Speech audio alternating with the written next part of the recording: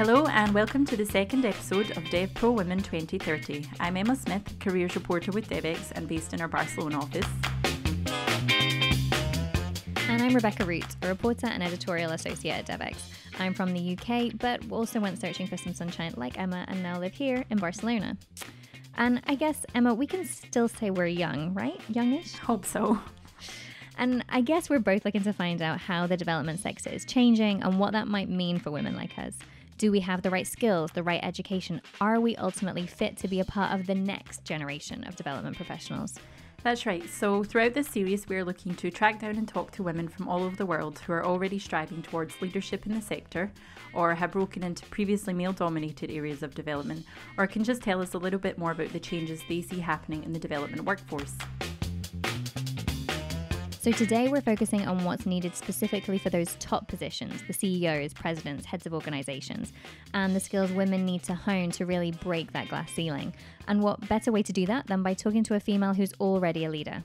Yes, so Nasra Ismail has over 10 years of international development experience in Africa, Asia, and Europe. She's currently the Deputy Director of the Somalia NGO Consortium, but before that was the Country Director of Somalia for Oxfam International and spent eight years with the US government managing public sector programs. She's managed large scale poverty reduction programs aimed at strengthening the capacity of local, regional, and national governments in resource constrained countries. She also holds a bachelor's degree from the George Washington University, as well as multiple professional certificates from top tier universities like Harvard, Oxford, and Berkeley. So, not intimidating at all. yeah, she's definitely got a very impressive CV. So, Rebecca, you chatted with Nasra a few weeks ago. Yeah, that's right. She gave us a call from Somalia and was full of so many wise words on how she's overcome some of the challenges she's faced in her career and the biggest lessons she's learned so far. Nasra, thank you so much for joining us today. Um, as you know, we've been talking a lot about the changing landscape of development and how it's going to look in about 10 years' time. Um, how do you hope things will differ, especially for women in 10 years' time in this space? Thank you, Rebecca. I'm really happy to join you here from uh, Mogadishu, Somalia, to talk about this important uh, topic. Um, I I hope uh, in ten years' time we really are at a better place for not only um, women's uh, ability to participate more fairly in the economic in the economies that they're uh, living in, but really that I hope we are better in terms of uh, meeting the uh, SDGs and the commitments we've made to make this world a bit better for everybody, particularly women who I think we all know have been marginalized to some extent for a long time. But my hope is uh, that in the next 10 years things do get better uh, on all levels for women, for young people, for many people who have not been participating fully, comprehensively in their uh, economies. Yeah, I, I totally agree. Um, and when you're thinking about like those top level positions, CEO, directors, vice presidents, I know you yourself are, are a di- deputy director. Are there specific skills and education you think that women will need to access in order to be able to fill those positions? I happen to be of the opinion, and I think many people will, will agree, that in terms of skills, soft as well as those perhaps found more readily in the uh, business sector, uh, women actually do accelerate uh, in terms of educational um, output. Women, young girls, do tend to be achieving more on that end, let's say, than compared to their uh, counterparts. I think, uh, in terms of what might put many people, women and women, um, in the best shape to respond to the crises that we're seeing around the world, um, it the, there is a common ground on what make any person, uh, particularly women leaders in this environment, more successful. Certainly, as the world is grappling with increasing its stability, sort of the negative side that we're seeing now in globalization, political extremism, if you will, but also the humanitarian crisis that the world is uh, challenged by. In order to solve the most challenging social ills, leaders, particularly women leaders, will need to have a sense of resilience. I think uh, it could never hurt to um, overperform in areas where things are very difficult. The environments may not be an enabling environment. So having a cachet and a rich uh, uh, experience on how to be resilient to leader is just something all of us are going to be asked to do in the next several years.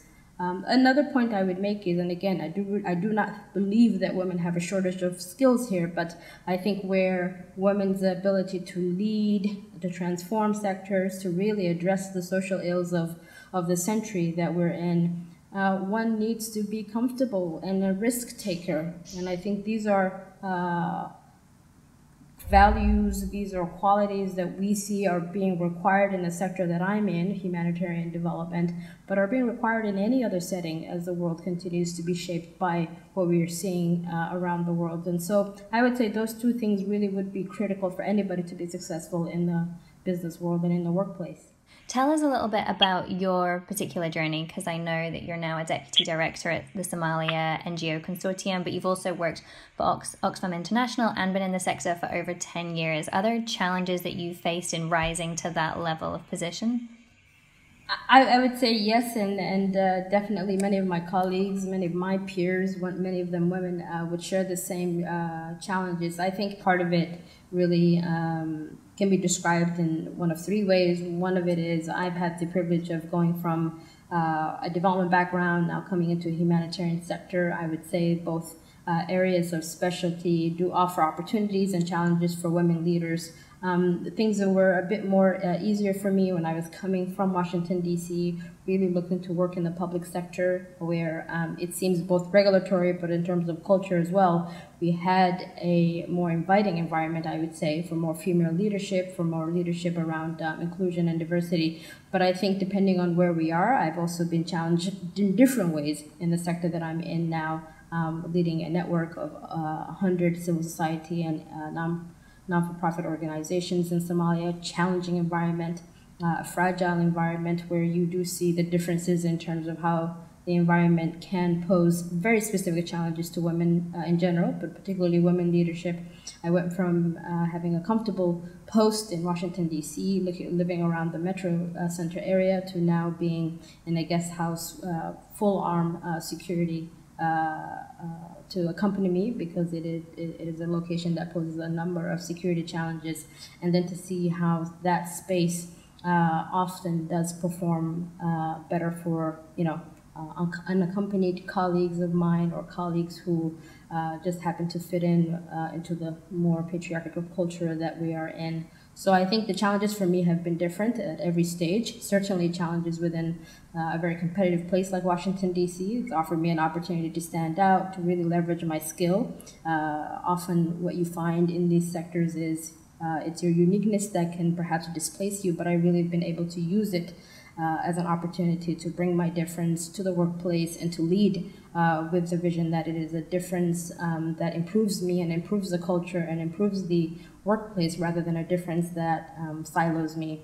I think in, in this sector that I'm in, the humanitarian sector, we have a lot of work to do to ensure that leaders of all um, shape, color, uh, background are able to thrive, but particularly in a fragile context like this, we see a lot of um, barriers in terms of women's leadership, legally, regulatory wise, but also in terms of cultural barriers. Uh, these are huge, huge problems. So, in order for female empowerment to thrive, we need to be very cautious of uh, cognizant around what the context is able to do and then how to move that context forward.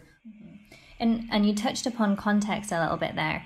Do you think that women from the global south face a different set of challenges to women perhaps from the global north in terms of trying to strive for those leadership positions? I think it's an added burden for sure. Um, I mentioned that I think obviously there is now more than ever um, a belief and a collective uh, commitment to deliver for women and girls around uh, this planet, that it's really um, uh, this is a time for us to act on that, whether you are addressing social development, humanitarian, legal issues, it doesn't matter. We are seeing an unproportionate amount of burden on women and girls. Um, obviously, the context uh, do highlight and perhaps service different issues for different constituencies, but for sure, global women in the global south um, can have a lot to benefit from those triumphant and those policies, progressive policies that have enabled more women in the global north to thrive, to, to have increasing numbers in, in the C-suites in the organizations that are in the global north. But for sure, the three barriers that are still relevant, that are still holding many women back in the context that I'm in is really uh, um, our, our, legal uh, at one point in terms of having policies and laws that can allow women to have their fair share in their uh, inheritance, a fair share in participating in the economies that they're in uh, as employees, but also in terms of business women. And then this relates to the second barrier that I wanted to mention, which is if you don't have a legal barrier, you definitely have a regulatory barrier in terms of how businesses, civil society organizations owned by women are treated, are uh, given uh, access to finances, and, and, and um, how they thrive in a community that may be restrictive again uh, to, to women. And third, and the hardest one to breach and, and to uh, change is definitely the cultural barriers. So I think for me, those three seem to still be an opportunity for all of us to improve on in the global south. And uh, the starting point may be this could be a coalition among um, those of us who work in the sector, but particularly could also be a, co- uh, a coalition between women in the north and women in the south. And, and as a role model um, and a, a, female leader in development and the humanitarian sector, are there top lessons that you, you've learned already or that you're still learning that you would like to pass on to the next generation of women professionals working in development or the humanitarian space? Uh, absolutely. There are many lessons, and to me, as a, as a leader, I continue to practice them and share them uh, with a number of uh, people who are both my mentors but also mentees. Um, I think a few that I'll just mention, obviously, it's something that I've heard from my mentors when I was younger. Any one of us who's in a leadership position really need to be able to uh, speak on those constituencies, um, need, need, need to speak on behalf of all those constituencies that we belong to and that we speak for. So, really taking very seriously the role of representing one's um, community very well. Uh, that always helps to focus uh, my, my strategies, focus my ability to lead uh, uh, uh on, on, behalf of the communities that I work with, but also to be authentic as much as I possibly can. I also said um, that there's a need to really stop some of the jargons around female or male leadership. There's just good leadership, and we need to all of us invest in good leadership. So I tell many of those um, who I work with and those who will come after me um, to really invest in leadership skills, uh, invest in having an executive coach, to have someone uh, who can give you that feedback to continue to improve on yourself and improve on the goals of your organization. Uh, certainly, I also mentioned that uh, any one of us, in order for us to be successful, we need to make ourselves um, and our skills valuable, valued, but also indispensable. It's a very competitive world we're all working in, and so uh, being very uh, serious about um, how you show up, how your skills uh, are able to address the issues that your organization is dealing with. Those are very, very important. Uh, an important uh, skill for me that I've been able to hone, that I continue to invest in, and that has helped me very much implement the vision for my organization has been an alliance and coalition making. Uh, we assume we can, in this culture of ours around the world, we can do it by ourselves, but I really don't think we can achieve something great uh, and grand on behalf of the world uh, by doing it by ourselves. And so I believe in being very uh, intent on alliance making and coalition making and having that as a platform that you can work out any of the complex issues that the world is facing. So needing to ensure that you work well with other people, that you can collaborate very well with differing voices, and that you can communicate successfully across differences. Um, last thing I'll say is uh, I have uh, on my board when I get to the office um, and in, in, my home office is you know a, a, quote by Wangari Maathai, the late Nobel Prize winning Wangari Maathai, that she says there comes a time when humanity is called to shift to a new level of consciousness and she says that time is now. And I believe for everyone's ability to thrive in a better world that we can deliver for our young kids, our young girls who are all looking up to us to model a new way for leadership, but also for fellowship, that uh, we need to raise the consciousness of how we work, how we lead, and how we live our lives. Great, thank you, Nasra. That's that's all of my questions, and um, it's been so great to talk to you and to get your perspective. So thank you so much for speaking to us. Wow, so really interesting to hear about Nasra's experience, um, particularly moving from the HQ roles in the US to the, the more fragile context that she has to work in, and then the different challenges that face women in leadership positions in the global south. Yeah, and I particularly like what she said about not talking about women in leadership, just talking about leadership. I thought that was definitely some food for thought.